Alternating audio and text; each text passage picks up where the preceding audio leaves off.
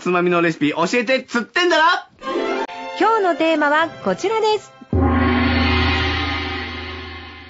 め、ん、つ、ゆではまずは神戸市のヘッドホンさんからいただきました。えー我が家のめんつゆレシピは大根のあっさり煮込みです。ということで、あの、材料、あ、メモしてもいけるかもしれませんね。はい材料は大根に豚こまや鶏もものどちらか、水 200ml、めんつゆ3倍、あの3倍濃縮のやつ、大さじ2、酒大さじ2ぐらい、みりん小さじ1ぐらい、醤油小さじ1です。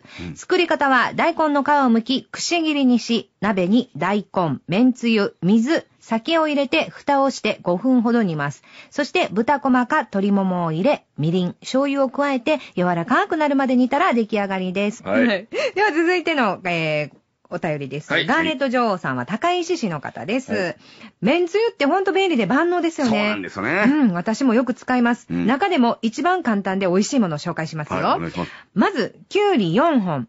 うんめんつゆ、山盛り、明大つゆ濃縮3杯。これを 200ml。うん。お酢大さじ1、2杯を用意して、きゅうりを適当な大きさに切り、素材をジップロックに入れて、もみもみ。うんで、時々混ぜながら1時間以上冷凍、冷蔵庫で冷やします。うん。ご飯にもお酒のあてにもなりますよ、ということ。さあ、続いては、えー、泉佐野市の方、男ドア法甲子園さんからいただきました。ありがとうございます。はい、ありがとうございます。鶏ミンチを油で熱した鍋で炒め、うん色が変わったら、サイコロ切りにした豆腐と麺つゆを好みの味に調整した1カップの出汁を鍋に混ぜ、中火で煮込み、頃合いに水溶き片栗粉でとろみをつけますと。で、好みでおろし、あの、生姜とかネギや柚子なんか入れても美味しいですよ、ということで。